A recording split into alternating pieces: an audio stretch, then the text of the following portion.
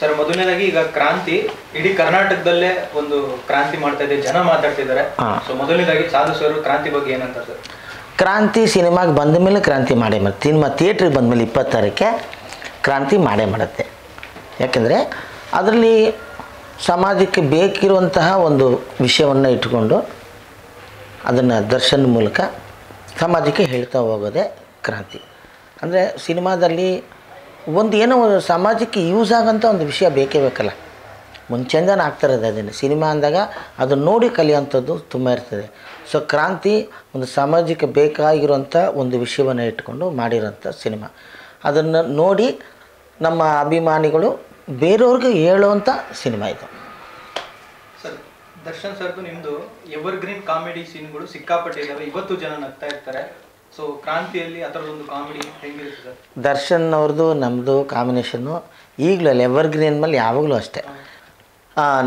ಅದರಲ್ಲೂ ಹರಿಕೃಷ್ಣ ದರ್ಶನ್ ಅವರ ಎಷ್ಟು ಸಿನಿಮಾ ಮ್ಯೂಸಿಕ್ ಮಾಡಿದಾರೋ ಅದಷ್ಟು ಸಿನಿಮಾದಲ್ಲಿ ದರ್ಶನ್ ಅವ್ರ ಜೊತೆ ಕಾಂಬಿನೇಷನ್ ನಂದಿದೆ. ಹರಿಕೃಷ್ಣ ಮುಂಚೆಯಿಂದನೂ ನಾನು ಅಂದರೆ ಇಷ್ಟ. ನನ್ನ ಗುರು ಅಂತಲೇ ಒಂದು ಭಾವಿಸ್ಕೊಂಡಿದ್ದಾನೆ. ಜೊತೆಗೆ ಈ ಇದಕ್ಕೆ ಮುಂಚೆ ಬಂದಂಥ ಯಜಮಾನ ಸಿನಿಮಾದಲ್ಲಿ ನನ್ನ ಇಟ್ಕೊಂಡು ಸಿನಿಮಾ ಶುರು ಮಾಡೋಕ್ಕೆ ಮುಂಚೆ ಸಿನಿಮಾಗೆ ಕತೆಗೆ ಓಮ್ ಅಂತ ಆಗ್ತಾರಲ್ಲ ಆವಾಗಲೇ ಅವನು ಸಾಧಕ ವಕೀಲ ಅಂತ ಕೆಳಗೆ ಹೆಸರು ಬರೆದುಬಿಡ್ತಾರೆ ಹರಿಕೃಷ್ಣ ಅವರು.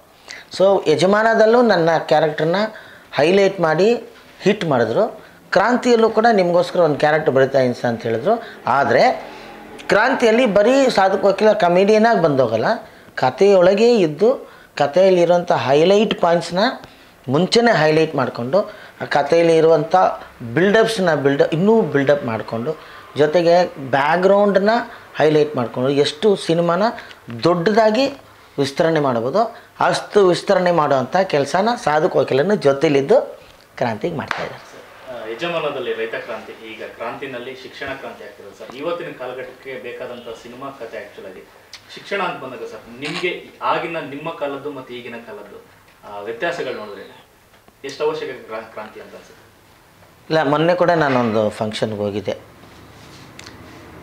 ಎಜುಕೇಷನ್ ಸಿಸ್ಟಮ್ಮೇ ನಮ್ಮ ಉಪೇಂದ್ರ ಅವ್ರನ್ನ ಏನಾರು ಕೇಳ್ಬಿಟ್ರೆ ಅವ್ರು ಕರೆಕ್ಟಾಗಿ ಹೇಳ್ತಾರೆ ಇದ್ರ ಬಗ್ಗೆ.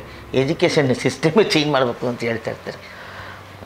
ಏನಾಗ್ತಿದೆ ಅವರೇ, ಈಗ ಮುಂಚೆ ನಾವು ಯಾರು ಒಂದು ಐದು ಪೈಸಾನು ಸ್ಕೂಲ್ಗೋಸ್ಕರ ಅಥವಾ ಓದೋಕ್ಕೋಸ್ಕರ ನಾವು ಖರ್ಚು ಮಾಡಿದವರಲ್ಲ. ಪ್ರತಿಯೊಂದು ಶಾಲೆಯಲ್ಲೇ ಇವರು ನಮಗೆ ಕೊಡೋರು, ಉಚಿತವಾಗಿ ಕೊಡೋರು. ಅದನ್ನು ಬಿಟ್ಟರೆ ಗೌರ್ಮೆಂಟಿಂದ ನಮಗೆ ಕೊಡೋರು ಗೌರ್ಮೆಂಟಿಂದನೇ ನಮಗೆ ಊಟನೂ ಕೊಡೋರು. ಈಗ ಒಂದು ಮಗುವನ್ನು ಒಂದು ಸ್ಕೂಲಿಗೆ ಸೇರಿಸ್ಬೇಕು ಅಂದರೆ ಎಷ್ಟು ರಾದಾಂತಗಳಾಗತ್ತೆ ಅಂತ ಎಲ್ರಿಗೂ ಗೊತ್ತು. ಇರೋರ್ಗೆ ಓಕೆ ಇಲ್ಲದೇ ಇರೋರು ಏನು ಮಾಡ್ತಾರೆ? ಓದಲೇಬೇಕಲ್ವಾ? ಪ್ರತಿಯೊಬ್ಬರು ಓದಲೇಬೇಕು ಆಸೆ ಇದ್ದಿರುತ್ತೆ. ಅವ್ರಿಗೆ ಎಟ್ಕೋ ಹಾಗೆ ಪ್ರತಿಯೊಂದು ಶಾಲೆಗಳಾಗಲಿ, ಕಾಲೇಜ್ಗಳಾಗಲಿ, ಎಜುಕೇಷನ್ ಸಿಸ್ಟಮ್ ಆಗಲಿ ಪ್ರತಿಯೊಬ್ಬರಿಗೂ ಎಟ್ಕೋ ಅಂತ ಕೆಲಸ ಆಗಬೇಕು. ಇದನ್ನು ಪರ್ಸ್ನಲಾಗಿ ಹೇಳ್ತಾ ಇದ್ದೀನಿ. ಕ್ರಾಂತಿಯಲ್ಲಿ ಯಾವ ವಿಷಯದ ಬಗ್ಗೆ ಹೇಳ್ತಾ ಇದ್ದೀನಿ ಅನ್ನೋದು ಅದು ನಿಗಡ ಅದು ಯಾರಿಗೂ ಹೇಳ್ತಾ ಇಲ್ಲ.